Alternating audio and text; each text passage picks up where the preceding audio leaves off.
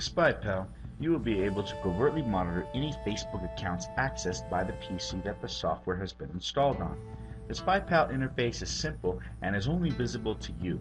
It is undetectable to all other users as well as any antivirus or Trojan software. The dashboard is easy enough for anyone to navigate. Additionally, all SpyPal products feature the same dashboard, so once you're familiar with SpyPal for Facebook, you'll be instantly familiar with SpyPal for Skype, Yahoo, and others. Here we can see we're logged into a Facebook account and it's running invisibly in the background. It is making a movie of what I am sending and receiving, as well as downloading and uploading, recording both sides of the conversation as opposed to most keyloggers which can only record the keyboard's keystrokes. Another great feature is that it only records activity.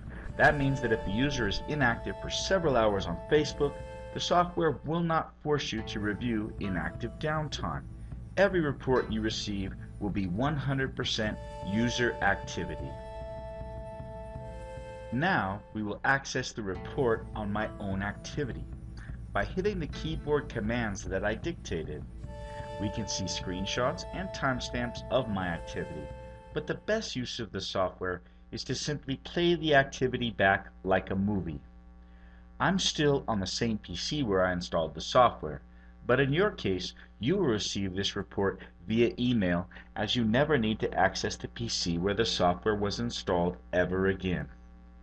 Simply click the Settings button and select which options you prefer. All options are in plain English. There is nothing techy to understand. Here, we'll be able to decide whether or not we want the program to run automatically. And here, we can choose to hide the program from Add Remove Programs as well as the Task Manager. Additionally, we can set up the hotkey command for us to enter our password. And finally, we can instruct it not to capture images when the account is not active so you will only need to change the settings if you want the software to operate more transparently. Are just as easy.